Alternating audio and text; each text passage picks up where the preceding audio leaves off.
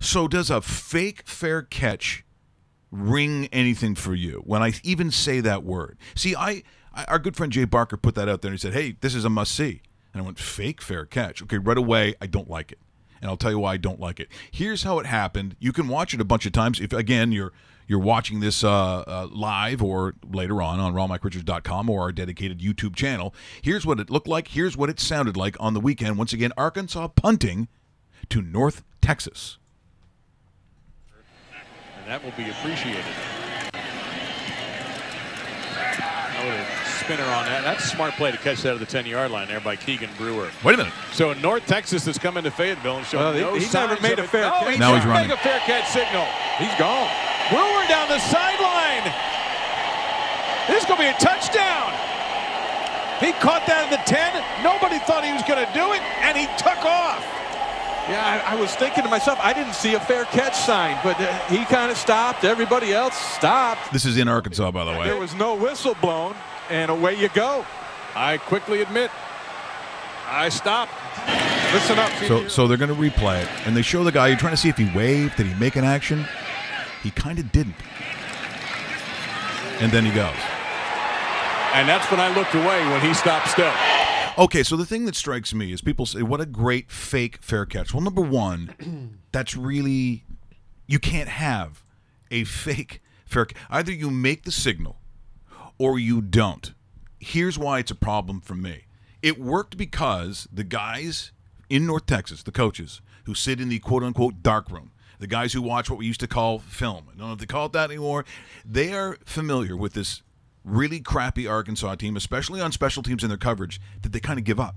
They saw at certain points when they run down, because this was decided just seconds beforehand, if they don't follow through on punt coverage, there's a chance if you just catch it and kind of stand there that they give up.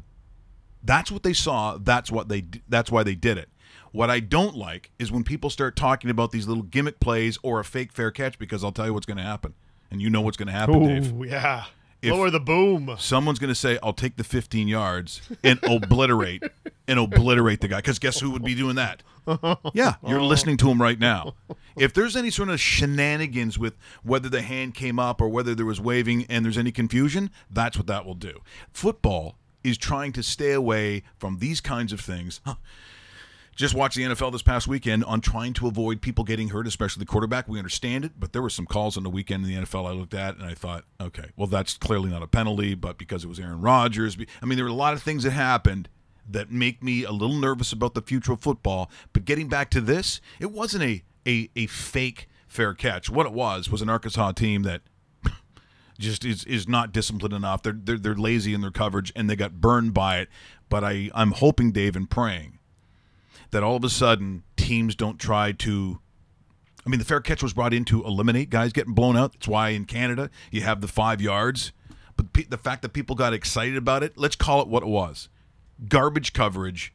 But I hope I don't see a wave of guys trying to do this because if I'm special teams coach, I just have a bad feeling that somebody said, "Well, we'll take the 15," but if they're going to start pretending or, or a half wave or whatever it is, very. You know when I mean dangerous, I'm saying dangerous. Uh, I, I- get that it worked, but I'm not in love with it. No, it's a it's a massive danger if something like that goes the other way. So so what happens if if uh, coverage team blows up the guy on the ten yard line, and people sit there and say, "Oh, he he he he he kind of waved." He said, "No, he didn't. He did not even remotely come close to that." Also, in a situation like that, you only get to do that once in your life. Because guess what happens the next time it's remotely close? Yeah. It's like you said, they'll take the 15 yard penalty and have a couple laughs quietly in the dressing room, going, See, I told you. What? Did we just become best friends? Yep.